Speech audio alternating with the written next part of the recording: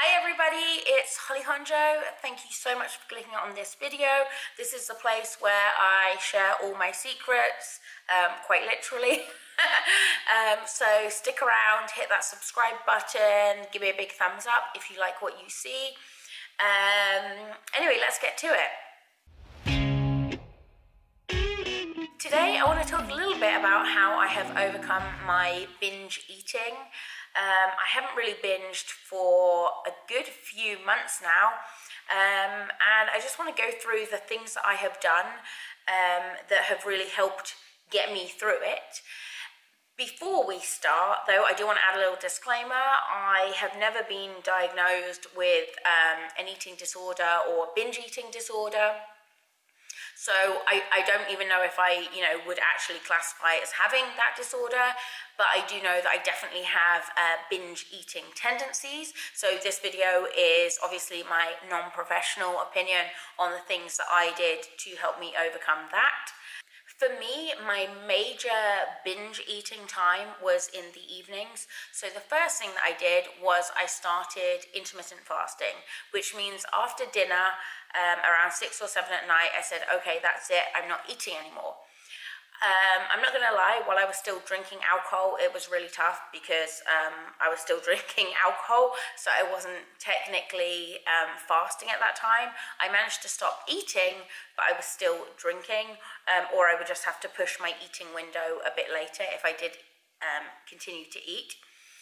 But just um, doing the intermittent fasting, so stopping after dinner and then fasting until like 11 or 12 the next day. So 16 hour eating window, eight, no, 16 hour fasting window, eight hours eating. Um, has seemed to work really well for me and it just sort of gave me got me into the mindset that I wasn't going to eat whereas if I had it sort of open you know without the intermittent fasting I would have just kept eating in the evenings the second thing I did was I quit drinking, so quit drinking alcohol. Like I said, when I first started intermittent fasting, I was still drinking, um, so obviously I wasn't really doing it properly. As soon as I quit drinking, I was able to stop the binging because for me, a huge part of when I drank was just eating, mindless eating. You know, I would go, I would buy the booze, but I would also buy uh, prosciutto, cheese, crackers, chocolate, crisps, you name it. I would then sit there when I'm drunk and eat all of that. Um, and you know, when you're drinking, it just it makes you have a much more voracious appetite. So you know, I was eating like a second dinner um, which I obviously did not need. Um, and when I drank as well, I was out of control. You know, I didn't care what I was doing, um, and I wasn't. It, it really was like mindless eating. Just I would get these like urges to just stuff my face and eat as much as I could, um, sort of until the point that I felt kind of sick.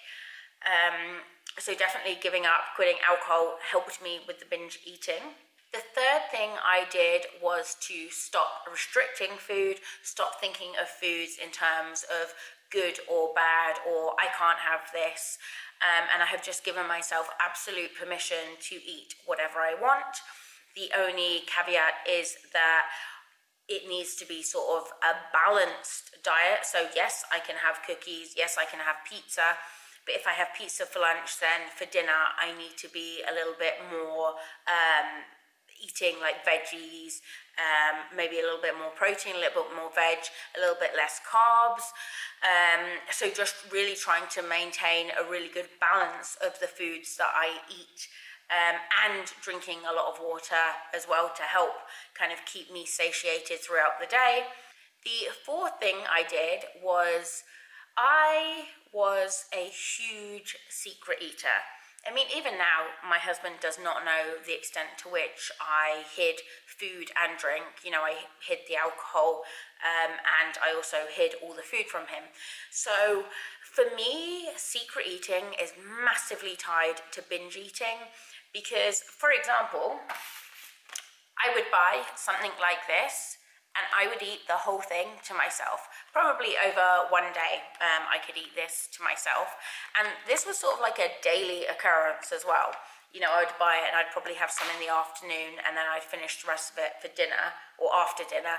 Um, or maybe, you know, I'd eat this over two days because don't forget I'd have my bars of chocolate as well.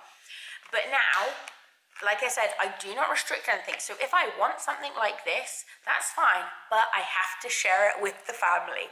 So when I buy things like this, I put it out on the side, on the counter, and everybody has some, which number one means that I am not eating that whole thing you know, I just, I don't need it, do I, quite frankly.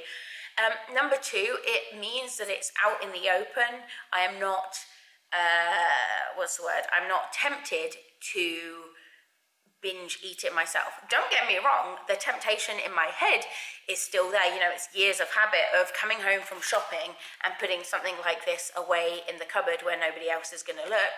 Um, and then, you know, the temptation to want to eat it by myself. But for me, it absolutely has helped in not hiding these things, not pretending that I don't eat things like that or I don't want things like that because I do. Um, and uh, yeah, it's just that has been massive for me. Any you know sweet stuff that I buy, absolutely, I can have it, but I have to share it. The last thing I have done is and this doesn't always work out so well, but the last thing that I have done is do not shop when hungry. That is the biggest mistake you can make. And I mean, I got caught up in it last week as well, to be honest. Um, but even if you don't think you're hungry, but you're a little bit hungry, you shouldn't go shopping. Because last week I went to Ralph's, and before I went in, I kind of got in my head that I was going to sort of get some M&Ms. Um, so I went and I picked up um, an apple pie, half an apple pie, which I was going to share with the family. I just bought a half of one, which was fine because, you know, like I said, I don't restrict anything. Then I made my way round to the um, M&M aisle. In the M&M aisle, I saw some chocolate bars, and I will. So for me, the it's like the pound pluses, the huge chocolate bars. I'll buy those and eat those. Um, you know, just sort of stuff my face with them, eat them in secret. But the smaller, you know, like the kind of fancy chocolates, I'm actually okay to just have one or two pieces or like a little line of those. So I saw these chocolates and I picked them up um, just because they looked tasty. And I do like a little bit of chocky in the afternoon with my coffee. Like a little, give me a little line, give me a little hit of chocky. Um, I also then saw some um, chocolate cookies, soft chocolate cookies. I don't even like soft cookies. I think they're horrible. I like them crunchy. But for some reason, I was like, these look good. I'll pick them up. Even in my head, I was like, I don't even like soft ones. But just, I was kind of feeling a little bit hungry, and I was like, I put them in my basket. Then as I walked over to the M&Ms, of course, they only have the family size packs. Um, and I was stood there and I was debating, you know, which one should I get? And I picked them up and I thought to myself, you know, I came to my senses and I thought, if I buy this huge bag of M&Ms, because I wasn't thinking that I was going to share this, you know, I was I was thinking of hiding it for myself, you know, old habits. And I thought if I pick this up, I will have to eat the whole thing. And this is a family size bag. And I won't be able to stop myself from eating them. And I don't actually want, I just wanted a little bit of M&Ms I didn't want a whole family size bag. So I, I, kind of, I came to my senses and I was like, what are you doing? I put the M&Ms back, I put the cookies back, I kept the chocolate bar and the half an apple pie because, like I said, I still have those um, chocolate bars actually. I've had about half of one of them, uh, but um, they're still in the cupboard. And the apple pie I shared with my family, those were okay. But the cookies and the M&Ms, things that I would tend to sort of binge eat by myself, I put them back and I ran the hell out of there because, um, you know, I know what I'm like, but damn it if old habits don't die hard because it was such a habitual thing for me to go to the shop and just grab all these sweet things and put them in, go home and hide them.